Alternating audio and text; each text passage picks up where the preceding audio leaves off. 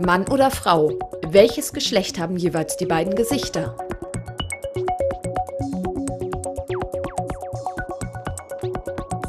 Die meisten Menschen erkennen in dem linken Gesicht eine Frau. Auf dem rechten Bild sehen sie einen Mann. Doch in Wirklichkeit handelt es sich um ein und dasselbe androgyne Gesicht. Bei dem linken Bild wurde lediglich der Kontrast verstärkt, bei der rechten, männlichen Version des Bildes ist der Kontrast dagegen sehr viel geringer.